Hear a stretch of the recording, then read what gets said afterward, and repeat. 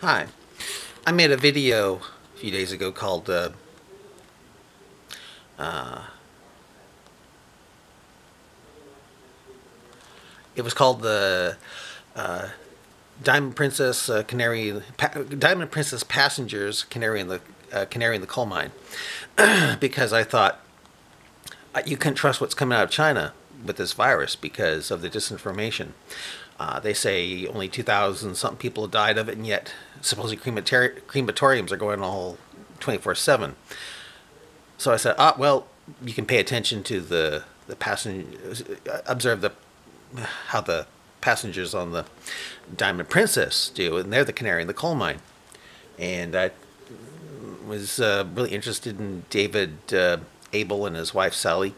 Uh, old couple, you know, prime for getting. If, if you're gonna get if you're gonna get that uh, virus, it seems like it would kill you.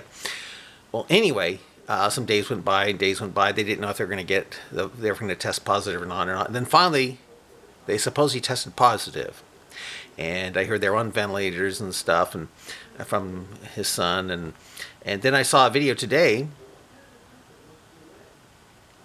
where uh, he's test positive. He was he was exercising. He test positive, and his wife test negative, which flies. It, it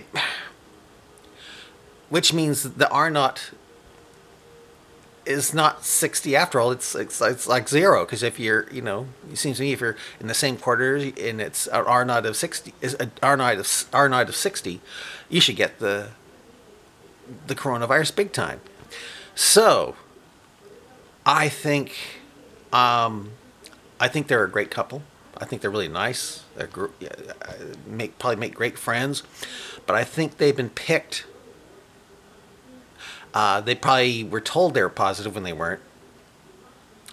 Just to spread dis- disinformation to make us think this coronavirus isn't so bad. It's not hurting the elderly, and it's not as contagious. That's what I'm thinking right now. And uh, what was this thing about them being on ventilators? You know?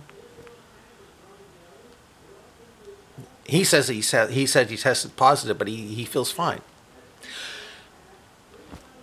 So anyway, I don't know I used to think, you know, look at the passengers on there. They're they're the canary in the coal mine. I don't know what to think now. Yeah, that's what I think. Bye.